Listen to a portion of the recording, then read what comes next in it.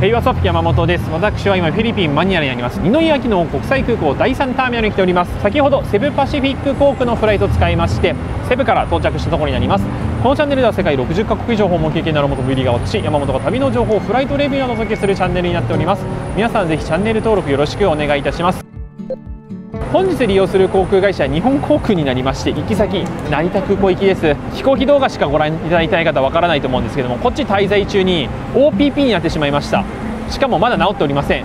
10日間ずっとお腹ゴロゴロのゲリゲリな状況が続いておりまして今回無念の帰国編とさせてください。本来はまた第三国行きたかったんですけどもお腹の調子が悪いのと私ももう若くないのでもしこれが大病だったら大変なので一度日本帰国させてください。なので今回は帰国便の様子であったり3月以降大幅に帰国要件緩和されておりますのでそれらの様子今回お届けしようかなと思います。なので今回の私のケースで言いますとワクチン3回打ってフィリピンから帰国です。この場合はなんと自主待機も何もありません。今まで通りです。今回はそこの部分までお届けしようかなと思います。本来はまたいろんな国行きたかったんですけどもちょっと自分の体調と相談して急遽緊急帰国することにしました。2日前にチケット取りました。今回も日本航空のフライトで向かいます。そして日本航空は第1ターミナルから出発になりますので今いる第3ターミナルから第1ターミナルに移動しようかと思います。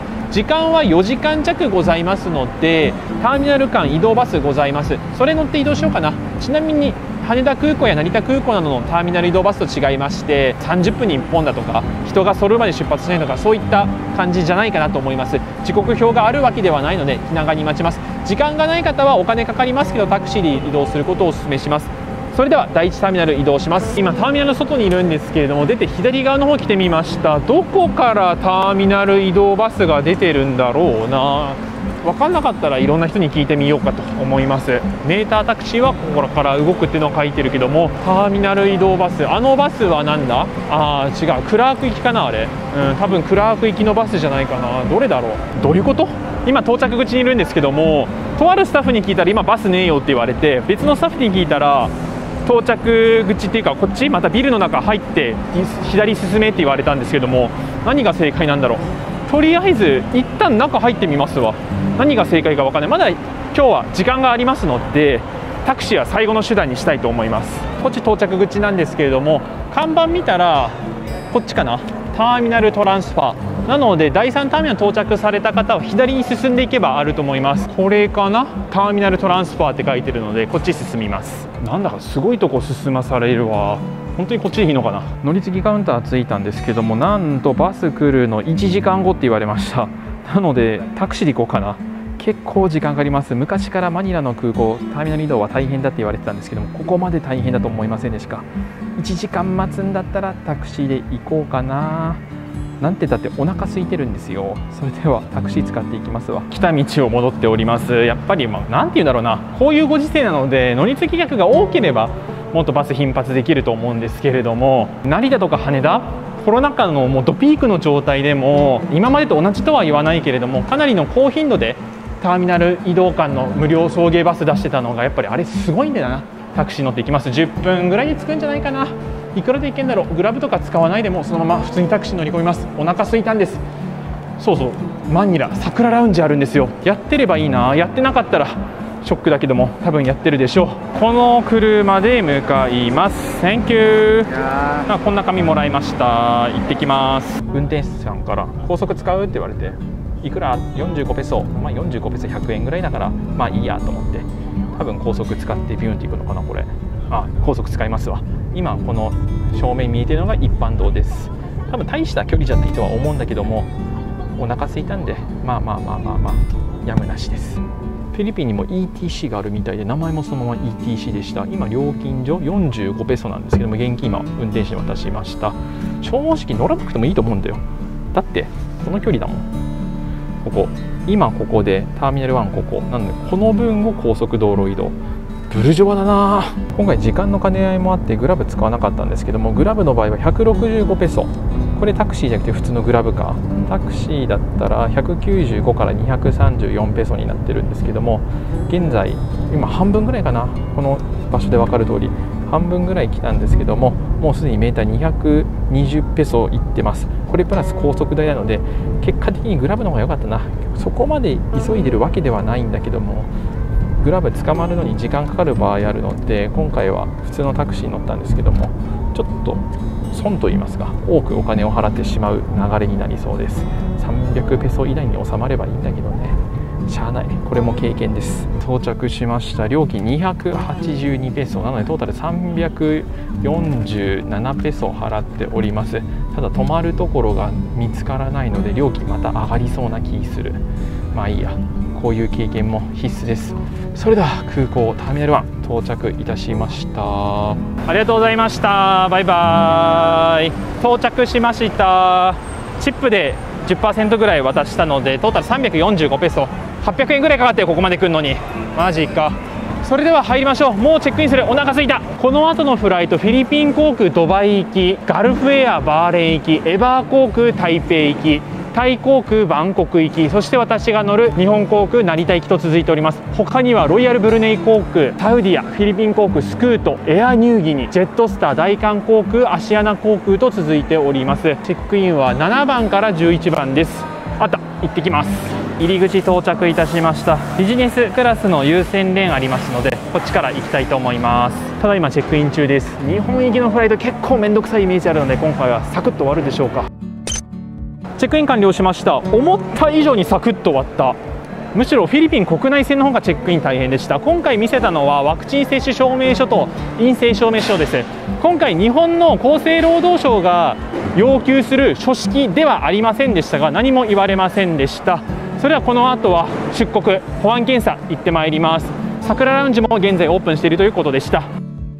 保安検査出国審査完了しました。免税店広がっている奥の高知閉まってるね。国内線セブの空港はすごい状況だったんですけども国際線はやってます。お土産売ってる？ここのお店のお土産はどうでしょう？か値段。このセブン D のマンゴーセブ空港の制限エリア外は145制限エリアは150ペソでしたが果たして値段は？書いてない。書いてない。残念ながら書いてない。めっちゃでっかい。いっぱい。マンゴーセットもある。値段は書いてないので不明です。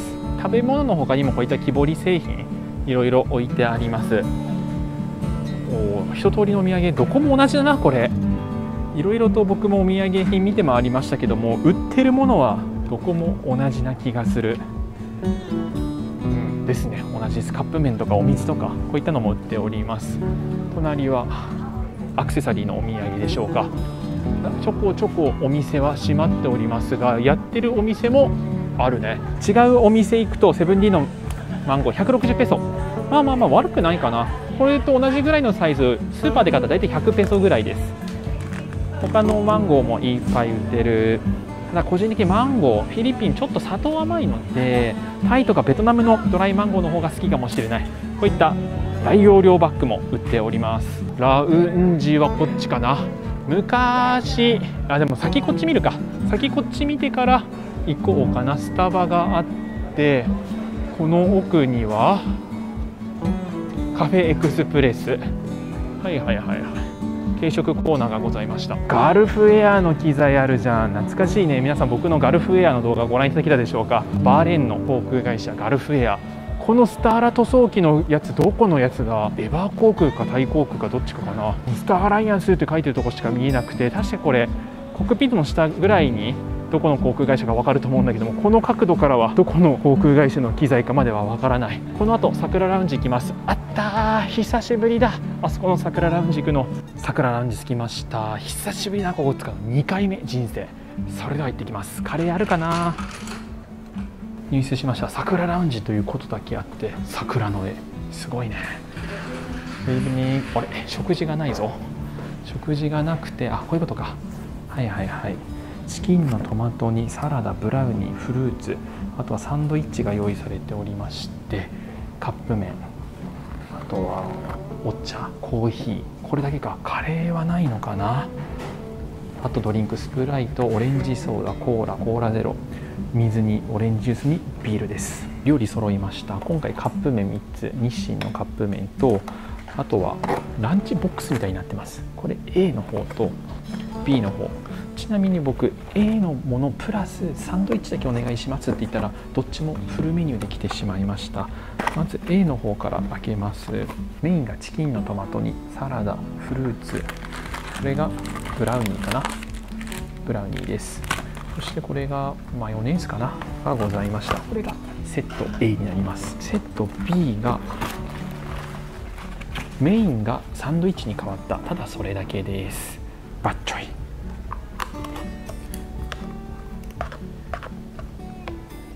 ん？美味しそうな匂い。いただきます。バッチョイでフィリピンのラーメンみたいな食べ物なんですけど結局何かわからんけど美味しい。そしてビーフフレーバー違うのかな？うん。全然違う。ビーフの方があっさりだわ。日本のカップヌードルとは全然違う。サラダ食べようか。サラダは人参とこれなんだ？わからん。なんだろうこれ。大根？とレタストマト。マヨネーズかな。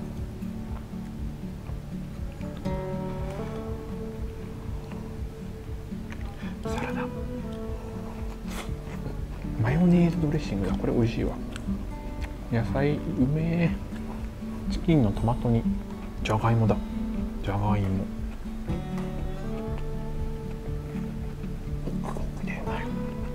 鶏肉。これご飯欲しい。そうフィリピンの人日本と同じで主食ご飯なんですけども多分日本人以上にご飯食べてるね。何とでも何とでもだね何にでもご飯って感じなんだけどこれご飯でしょ。そして次サンドイッチ。ハムチーズサンドイッチが2つあるって感じ。こんな感じの断面です。シンプルで美味しいわ。ただしパンは口の中の水分やたら持っていくタイプなので気をつけてください。桜ラウンジ出ました。プライオリティパス使えるラウンジ。行ってみたいと思います。タイ航空のラウンジはクローズしております。どっかでタイ航空の機材見たな。あれかな？あそこタイ航空の機材があるんですけどラウンジはクローズしております。丸幅ラウンジあるんですけどもここじゃないもう一つのラウンジが1時半までということで先にそっち行きます。先ほどのスターラ塗装機エバー航空の機材でした。こちらがそのラウンジペガサスラウンジと読むのでしょうか。ガルフ航空の指定ラウンジにもなってるのかな。ファルコンゴールドラウンジ。他にはエアニューギニチャイナエア中国南方航空エバー航空大韓航空クウェート航空オマーン航空フィリピン航空スターラックスタイ航空アモイ航空なんだこれアジアユナイテッドバンクあクレジットカードか。あとはドラゴンパスであったり私は持ってるプライオリティパスで入ることもできます。それでは行ってきます。本来はここバーカウンターだったんでしょう。残念ながら今全て撤去されております。こっちも料理とか並んでたと思うんですけども全て撤去されてしまっております。アロスカルボもあんのかおかゆあとはチキンアドボ。こっちの方が桜ラウンジの食事よりも美味しそうだな。セット A ダブルチーズサンドイッチだったりセット B だとツナペストパンこれらになっております。ちなみにアルコールはビール2缶までになっております。他のお酒はなさそうです。今タイ航空のバンコク行きの登場のアナウンスが入りました。結構な数のお客さん乗り継ぐみたいです。今回はクッキーとドリンク注文させていただきました。OK thank you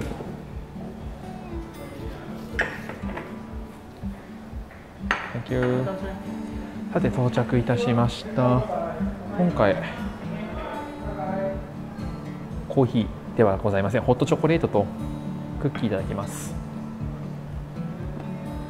甘くて美味しい。あ失敗した。甘い食べ物と甘い飲み物ってあんまり好きじゃないんですよ。めっちゃ甘いマジか。甘党の自分もびっくりするほどの甘さ。続きましてマルハバラウンジです。シンガポールのチャンギ空港だったりドバイの空港にもあります。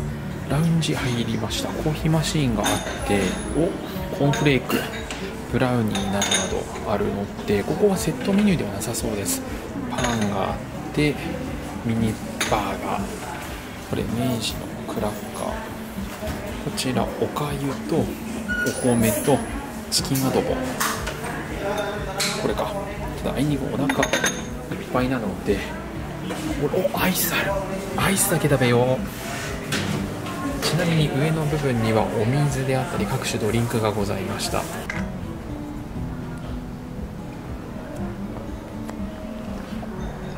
桜ラウンジ戻ってきました。今回の帰国にあたりまして2021年7月12月の帰国の時と少し変わっている部分がございます。何かというとファーストトラックというものが導入されました。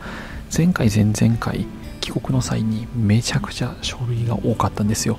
健康調査書表だったりあとは質問票誓約書健康カード検疫法12条の質問などなど56個ぐらいはいろんな種類の書類があったんですけどもそれが今ファーストトラックというものがありましてこれを電子申請できるのかな？そういうものになっております。ああこれ間に合うかな。到着便到着予定日時の16時間前にアプリ上でってなったのでもしかしたらこれ今回間に合わないかもしれないな。とりあえずやってみます。なのでここからはまたここら辺に貼っておきますのでご確認いただければなと思います。失敗したな。事前でもできると思ったんですけども下調べ不足でした。それではご覧ください。ちなみにこのファストトラックは成田羽田中部関西福岡にしかできません。というよりかはもう今国際線が浮いているのはこれらの空港しかないっていうところもあります。で用意するものここに書いている通りです。ちなみに私今回ワクチン接種証明書は日本政府が指定しているあの書式じゃないのでこの場合ができるかどうかも含めてやってみようかなと思います。MySOS のアプリをインストール。私過去2回帰国しておりますのでこのアプリはすでに持っております。で登録して MySOS アプリから登録。であと審査。これ多分無理だな。きっと時間がうーんとりあえずやるだけやってみます。その他の質問などはここに書いております。まずは MySOS ここに飛びます。思いっきり個人情報出ておりますのでここではパスポート生年月日名前これの入力を行いますその後は同行者の確認です12歳以下の子供はいません日本入国前に一部これこれですねこの機能を利用しますと検疫手続き事前登録ここにも個人情報が書いております質問票のウェブこれをまず登録します質問票の回答12月5日これ前回ですね。これ以前の帰国した時のデータがそのまま僕のブラウザの中には残っておりました。なので今回は3月30じゃない3月30日だ。3月30日日本航空の742便です。742便。座席番号は本日は59の A になります。一番後ろの座席です。乗務員ではございません。名前。これも基本的には過去に登場したことがある場合そのまま表示されるので楽です。宿泊地はこれは自宅ですね。待機とか今回は求められてないんですけれども自宅の住所個人情報満載なのでここも割愛させていただきます。日本国外にお住まいの方日本に住んでるのでこれは必要ありません。14日間は今回フィリピンのみです。これは選択しない。これも選択しない。今回はフィリピンにしか行っておりません。いいえ。いいえ。あこれ確かにあったな。これはいにしたらどうなんだろうか。正直にやってみます。体調に異常はありません。お腹の調子は異常です。これで OK かな。メールアドレス入れてこれも個人情報なんで隠させてください。続きまして電話番号。これも個人情報ですので隠させてください。回答を確認して完了と。これで QR コードが出てきました。続きまして誓約書。これも個人情報満載なので隠させていただきます。登録と。はい、続きましてワクチン接種証明書の登録。これどうなんだろうな。自分の場合3回受けてはいるんですけれどもアメリカで受けてるものと日本で受けてるものどっちもあるのでやっぱりここ16時間の壁は存在しました。なので前日までに皆さんこれもし近々帰国される方やっておいた方が楽です。これやらないとおそらく全部また手書きで書類揃えなきゃいけないと思います。ちなみに前の動画でもお話ししたんですけども税関。これも以前は手書きで自分の住所だとかいろいろ必要事項を書いたんですけども今税関のアプリがありますので今回も税関の部分に関してはアプリ使って電子申請で行おうと思います。さてラウンジ出ました。もう使用機そこに見える日本航空。今日は787になります。マニラ北祭は767だったんですけど今日は787です。まもなくゲート到着するんですけどもそういえばラウンジあれ改装されてましたわ。トイレ見たらもう完全 TOTO ウォシュレット。製造年見たら2017年だったので以前来たの2016か17年だと思うんですよね。なのでその時はあんなラウンジじゃなかった。もっとこじんまりとしたというか寂れたような雰囲気のラウンジだっただけにリニューアルしたみたいです。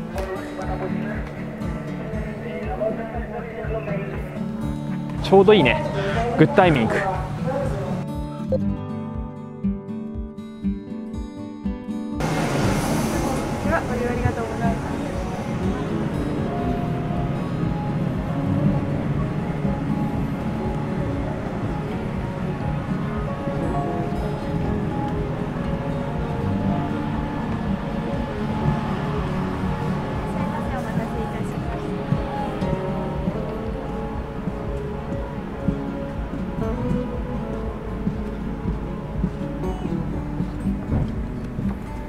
本日59の窓側になります。最高列です。座席につきました。本日の機材はボーイング787-9です。シートポケットの中いつも通りです。エチケット袋安全のしおりスカイワード w i f i の案内入っております。前回の日本出国動画でもお話ししましたが JGC プレミア以上のステータス持っている人1年で40回使えるバウチャーついております。私もこれ持っておりますので今日も w i f i 接続したいと思います。今日もワンワンズアライアンスメンバー日本航空をご利用くださいましてありがとうございます。この便は日本航空742便でございます。それではどうぞごゆっくりお過ごしください。ありがとうございましたフィリピン。失意の帰国となりますが無事に帰ろうと思います。今日も今日でやっぱりいい天気だな寒気のフィリピンはいい感じです。ロイヤルブルネイ航空の飛行機が今着陸しました。先ほどのロイヤルブルネイ航空に引き継ぎましてフィリピン航空の機材がこれから離陸です。続きましてセブパシフィック航空の機材が着陸です。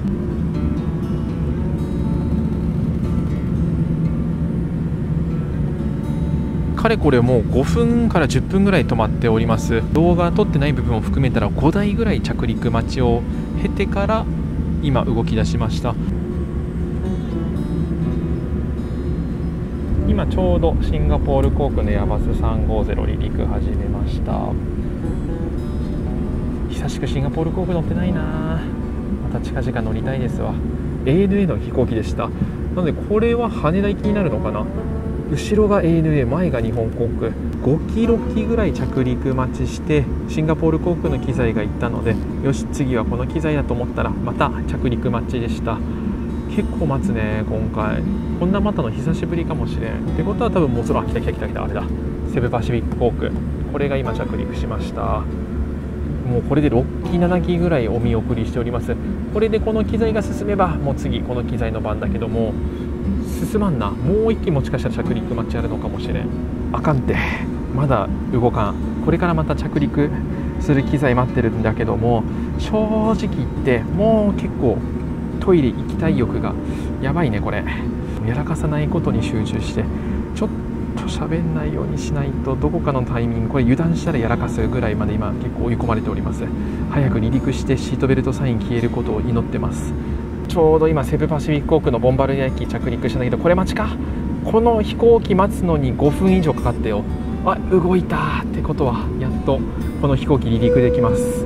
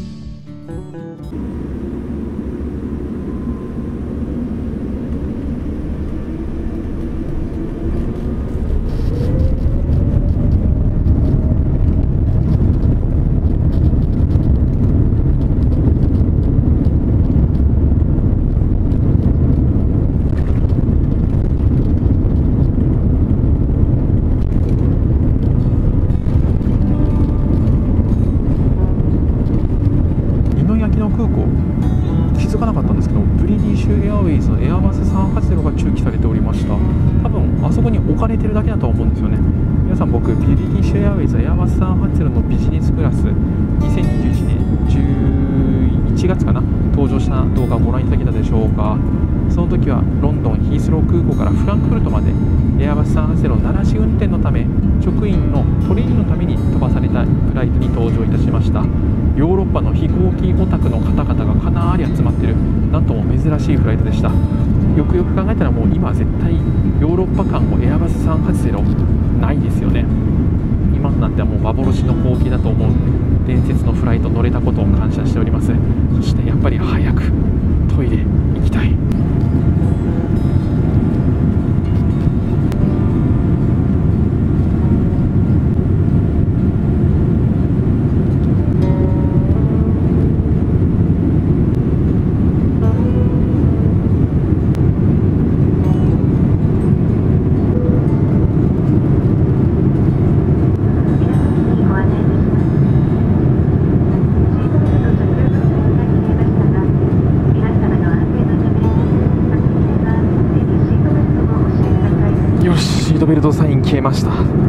トイレ行ってきます。生き返った。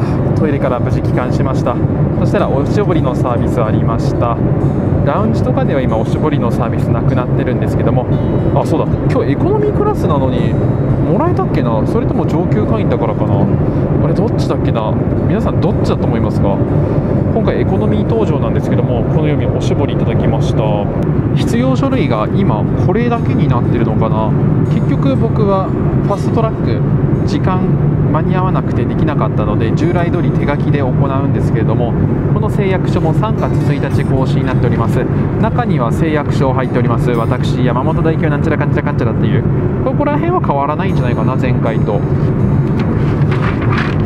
あとはここ氏名等ということで名前だったり年齢国籍滞在国地域パスポート番号アドレス電話番号などなどを書く。ですけどもこの紙とあとは中に挟まってたのが検疫法第12条の規定に基づく質問。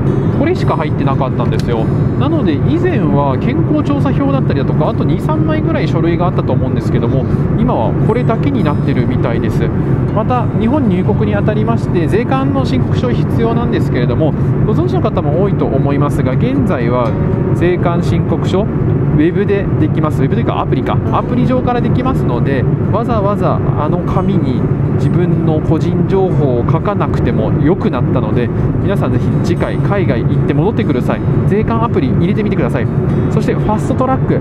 皆様方が次回行く頃にこれが残ってるかは分かりませんけども直近近々行く予定がある方はぜひ16時間前にァストトラックウェブ上で申請を行います。それを行うとこれら提出する必要ございませんのでぜひご活用ください。もし次回行った際の帰国時まだこのような誓約書など必要だった場合は16時間前までに絶対にファストトラック使って帰国したいと思います。あはいありがとうございます。スカイタイムとリンゴジュースいただいてもいいですか？お願いします食事が到着いたしました。本日のメニューメインがケイジャンチキンスライスです。そしてこれがマッシュポテトとハムとチーズ。チキンエンブティードフルーツスイカパイナップルパパイヤサラダがありましてドレッシングこれもしかしたらマヨネーズドレッシングかな。桜ラウンジであったドレッシングに近いかもしれません。そしてチョコチップクッキーとあとお水がついておりました。さて食事の食べる準備してるんですよ。ちょうど今揺れてきた。この動画撮る前結構揺れてて今回コンソメスープ久しぶりにいただいたんですけども危うくこのコンソメスープがこぼれるぐらいガンガンガンガン揺れておりました。まだ揺れておりますが今しかないな。それではいただきます。やっぱりいいね。エコノミークラスなんですけれどもちゃんとこういう金属の食器使っております。日本の航空会社ということもありますので割り箸もございました。まずはサラダから。これはいや違うな。マヨネーズドレッシングではないですね。ラウンジのドレッシングとはまた別のドレッシングです。今回の野菜は人参レタスきゅうりピーマンかなこれ。いやピー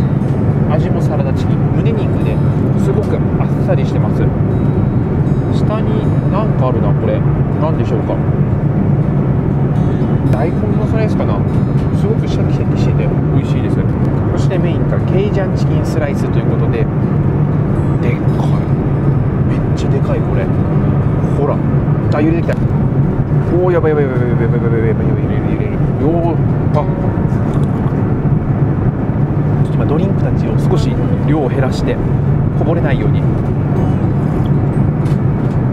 あ久しぶりにコンソメスープ飲んだけど美味しいな。これ伝わってますよねこのドリンクの揺れっぴ。続きですケイジャンチキン。見てくださいこれ。つくねみたいな感じ。ケイジャンチキンって何なんだろう初めて食べるな。これめっちゃでかいわ。あとはえーとターメリックライスでしたっけ？と野菜コーンとこれはきゅうりかな？冬瓜かな？まずコーン。間違いない。あまた入れてきた。また入れてきた。よし OK 米。うんいい味付けだ。また入れてきた。また入れてきた。ちょっと待ってよ。入れてきた。あやばいやばいやばい。これ確実に飲み物今減らしたんですけども飲んで。減らしなかったら絶対やばいやばいやばいやばい。やばいやばいやばいやばいやばいやばいやばいやばい。うんうんうん。ちょっと待ってよ。落ち着けて。落ち着き飛行機やばいやばいやばいやばいやばいやばい。一番揺れた一番揺れた一番揺れてる。一番揺れてる。一番揺れてる。おおおちなみにシートベルトサインは点灯しない。これとりあえず飲み物飲んじゃうか。よし。あシートベルトサインがつきました。今シートベルトよりも飲み物がひっくり返らないか危険。よし。今ちょっとシートベルトまずつけますか。よしよしよしよしよし。急げ。よ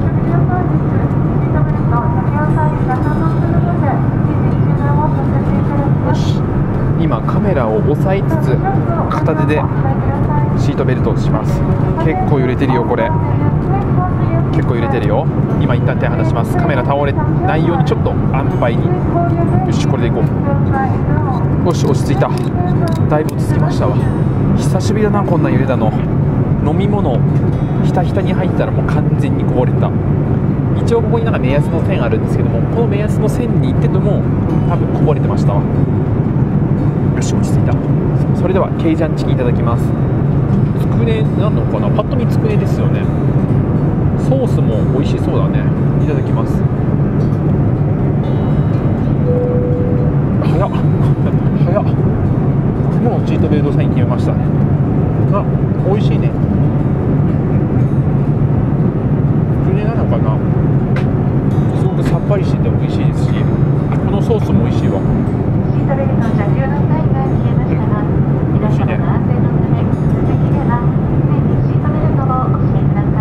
やっぱり日本航空のエコノミークラスは世界一なんですよ。スカイトラックだからスカイなんちゃら会社が選んだ2019と2020年かな。世界一のミークラスに選ばれております。あそうだ伝えてました。シートピッチがこのエコノミークラススカイワイダーっていうんですけどものすごく広いんですよ。なので過去にこのスカイワイダーのエコノミークラス何度も登場したんですけども久しぶりだなそういえば。僕の動画で言うと初期の頃かな。多分羽田から金浦空港に行った際その時トリプルセブン飛ばしたんですけどもそのエコノミークラスがスカイワイダーでかなりゆったりで世界一のエコノミークラスということで動画上げさせていただいたんですけどもう削除しました。改めて今回今登場しているスカイワイダーの凄さこれをお知らせします。もう一度ます世界一のエコノミークラスです。また揺れてきたよ。また揺れてきたよ。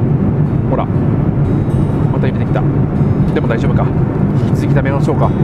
そして今回はフルーツございます。このまま箸で失礼します。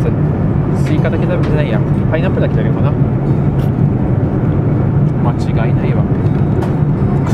果物って美味しいよね。ごちそうさまでした。1時間ぐらいずっとうとうとうとうとしておりました。ここからはスカイワイダーのシートについて説明したいと思います。現在であればこのスカイワイダーのシートがその他シートに分類されておりましてその他シートは例えばシェルフラットネオを搭載している787だったりあとはボーイング737-800こういった機材に関してはスカイワイダーのシート採用しておりません。今はスカイワイダーという名前になっておりますがかつてはスカイワイダー2と1分かれておりまして本日登場している787に関しては旧スカイワイダー2になっております。実はトリプルセブンに搭載されているスカイワイダーとは若干違います。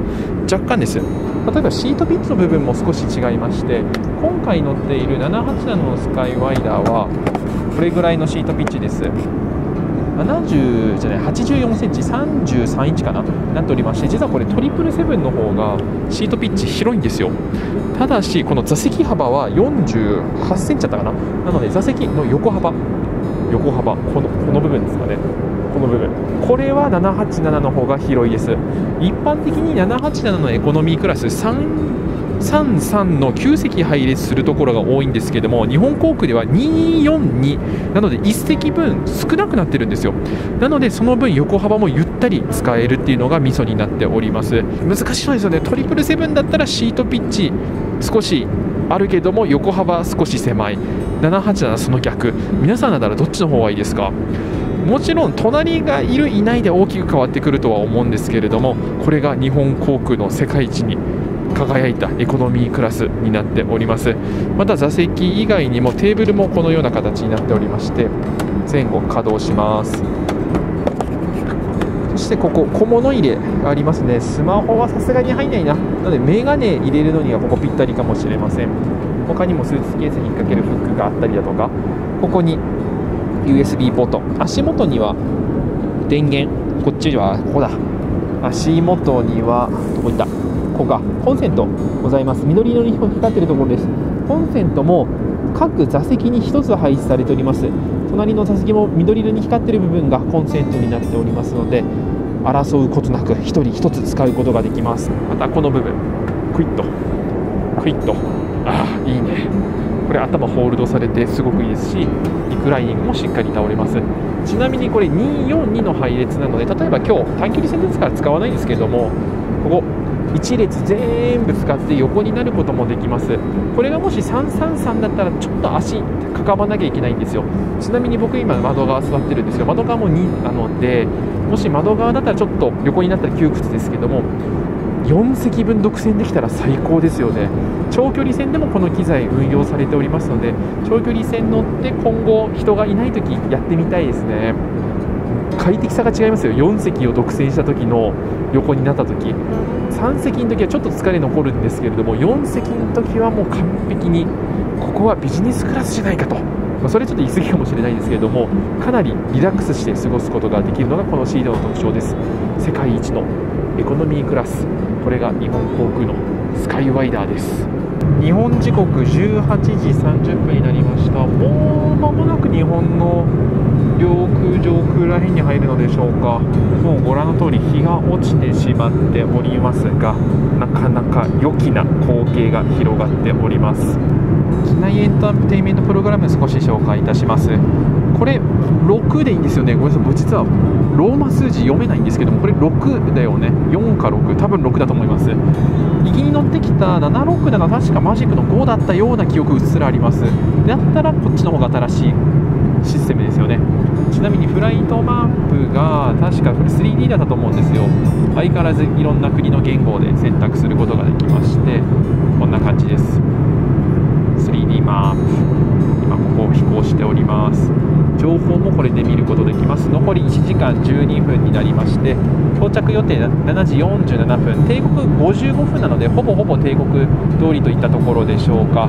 マジックの5と6でどれだけ違うんだろうな。あまりそこら辺気にして使ったことがないのであそうだこれリモコンないですねそういえば。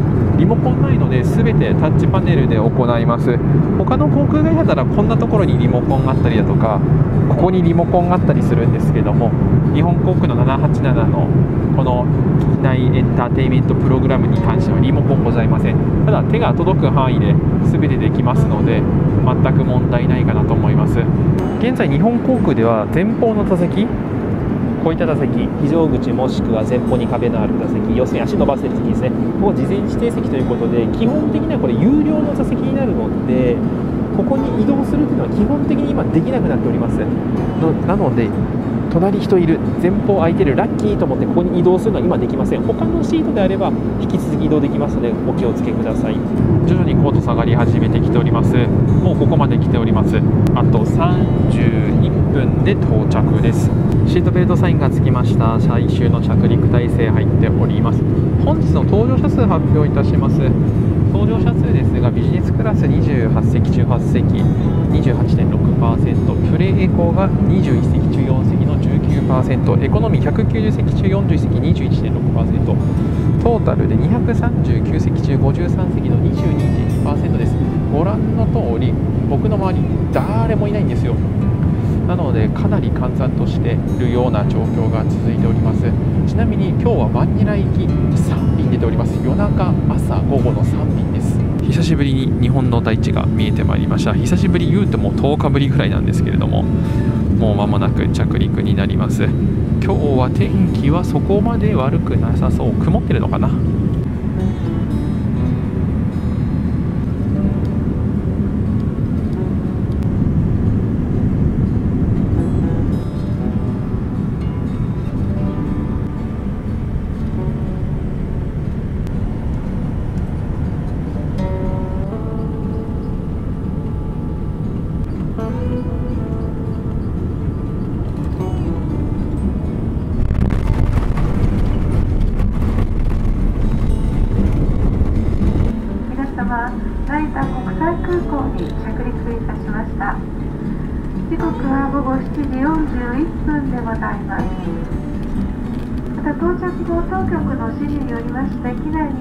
にてお待ちいただく場合がございます。こちらから改めてご案内いたしますまでお座席にお座りのままでお待ちください。関東地方は桜の見頃を迎えております。この時期特有の三寒四温の大変変化の厳しい不順な天候が続いております。どうぞ皆様お体調など崩されませんようお元気でお過ごしください。また次の機会にも機内にお目にかかれますようお待ち申し上げております。今日もワールドアライアンスメンバー日本航空をご利用くださいましてありがとうございました。さて成田空港到着しました。めっちゃ窓曇ってる。今までの帰国動画であればここで終わってたんですけども今回はフィリピン指定国ではありません。そして私ワクチン3回打っておりますので自主待機などなど一切ございません。つまりコロナ前の水準に戻ったと言えます。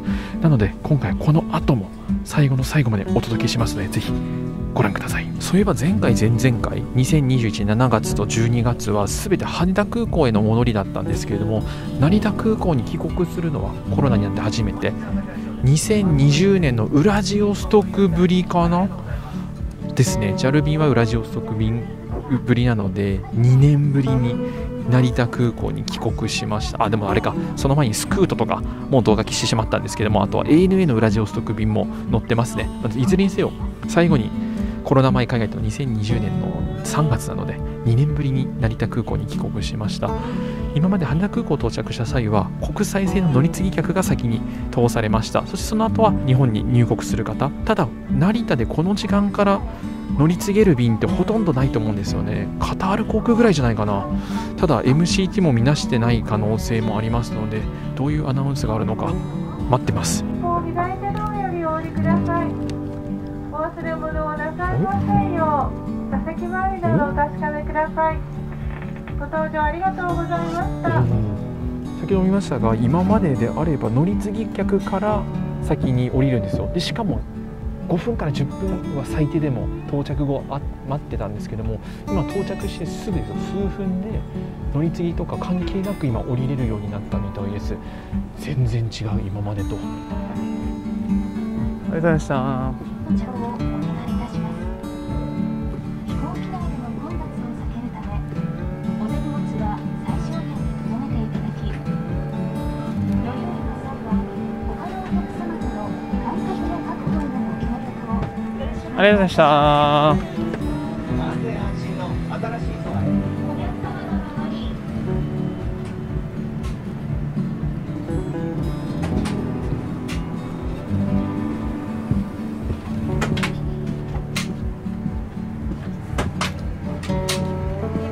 ありがとうございました。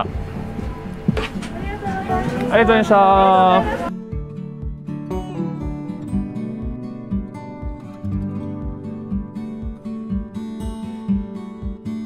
今まで羽田空港で降りた時と全然雰囲気違う。羽田空港に帰国した際はこんなに椅子並んでなかったので全然違う。とりあえず皆さん座ってんで僕もここ座ります。この椅子では書類の開始を行っております。ウェブで行った方はこの椅子並ばなくてもサクッといけてました。なのでこれ多分回収されるだけじゃないかな。やはり今の場所ではこの書類の確認だけ行われておりました。この後陰性証明書であったりワクチン接種証明書を出すみたいです。この後はワクチン接種証明書 PCR の陰性証明書を出すんですけどもアプリで事前に住んでる方は優先カウンターがあるので並ばずに済みます。なので帰国する際ぜひ MySOS のアプリから事前に登録することをお勧めします。今日はそこまで搭乗者数多くないのと到着便が全然ないので並んでませんけれどもこれが到着便集中する時間だったらすごいと思います。さて入国いたしました。皆さん今回どれぐらい時間かかったと思いますか？それはまた後ほどお話しいたします。今回はワクチン3回打っておりますのでもう自由のみです。結構変わってました。なのか成田空港だからなのか過去2回羽田だったので羽田とは動線は違いましたけどやることは基本同じでした。この後は9アワーズ行こうかなと思います。JAL 便で到着された上級会員の人は9アワーズのシャワー無料で使うことができます。なのでこの後シャワー浴びてから最後この動画締めようかなと思います。9アワーズ行く前に今日の夕方以降の到着便一覧第2ターミナルです。一番上サンディエゴ JAL そして JAL の大連。エアインディアシンガポール？ん？あいいのかえシンガポール？第1ターミナル？え？どういうこと？これ。ビスタラ？ビスタラとコードシェアしてるってこと？エアインディア。まあいいや。エミレーツのドバイとカタールのドーハ。で私が乗ってきた JAL のマニラに JAL の香港がございました。ちなみに到着客はこっちの B の方に集約して集められてる感じがします。そこまで混雑してたなという印象は正直ありません。さて地下1階に到着いたしました。こっちの方に行けば9アワーズがあるんです。検疫所に提出した誓約書の遵守をお願いいたします。ということですが今回私は問題なく。自由のみです。ちなみに9アワーズですが第2ターミナル地下通路通っていくか2階の連絡通路からじゃないといけないわからない人にはちょっと分かんないかもしれないですね場所。なので簡単な行き方で言うと京成だったり JR の乗り場の方に来てください。そしたらその奥行くことができますのでこっち改札です。JR と京成の。なのでこの改札を横目にまっすぐ進んでください。そしたら9アワーズございます。奥まで進むとこのような看板がございます。矢印の通り進んでください。さて9アワーズ到着しました。シャワー行ってきます。綺麗さっぱりした状態で最後締めさせてください。受付が完了しました。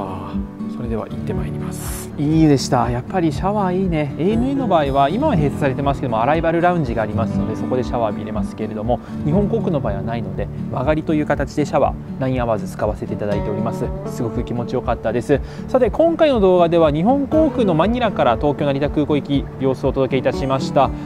私の体調不良 OPP が原因で急遽帰国することになったのでこの後しっかりと体調を整えたいと思います。ちなみに体調はいいんですけどお腹の調子だけがすごく良くないというような感じになっております。急遽発見した特典航空券1万マイルでエコノミークラス来ることができました。ちなみに行きはビジネスクラス2万4000マイルです。ANA も ANA で必要マイル数少ないので意外にフィリピンおすすめかもしれません。ちなみに ANA の場合はフィリピン航空と提携しておりますので例えば東京マニラマニラセブだとかそういった予定も組むことできます。今回のフライトですが搭乗率もそこまで高くないっていうところもありましたので快適に過ごすことができました。もし搭乗率高くてもあのシートは本当に快適に過ごせるのでおすすめです。そして何よりも今回帰国にあたりまして3月以降大きく制度が変わりました。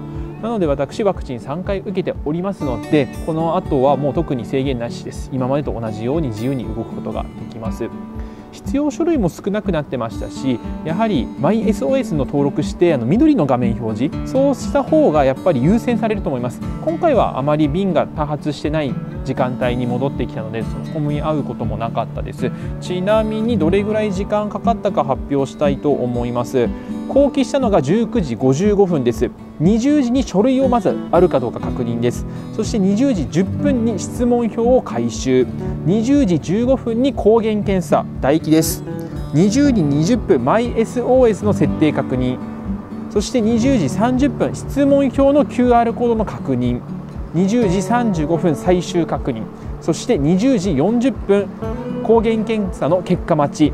そして待ち時間40分21時20分結果発表して21時35分に制限エリアから抜けたという感じになっております。なのでトータル1時間40分で今回抜けることができました。もう少し書類を早く揃えたりだとか、まあ、ESS のアプリ上でこれやってればもう10分20分ぐらいは早く出れたんじゃないかなと思います。なのでやっぱり日本の入国って面倒ですわ。いろんな国行ってますけれども今回行ったフィリピンもそうですけども前回の最後に行ったタイもそうですけどもアジア各国もかなり入国要件といいますか空港着いてからもそんなにあれ？こんなんでいいのってぐらいで終わるんですけどもやっぱり日本は相変わらずいろんな手順踏んでいろいろ大変なことがいっぱいありました。なので前々から言ってますけど日本はちゃんとやってる風に見せてる国なんだなと改めて 思います。やってる風なんですよ。中途半端結局は。はい。なんですけども今回はもう中途半端も何も自由の身になりました。ちなみに今回セブ島で PCR 検査を受けましたが厚生労働省の指定の書式じゃなくても全然問題ないです。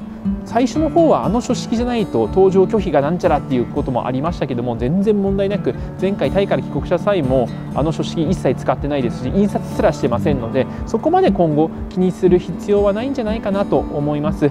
それでは今回の日本航空のマニラから東京成田行きのフライトレビュー以上になります。この後何するかは次回以降の動画でご確認ください。ちなみにただいまの時刻10時35分です。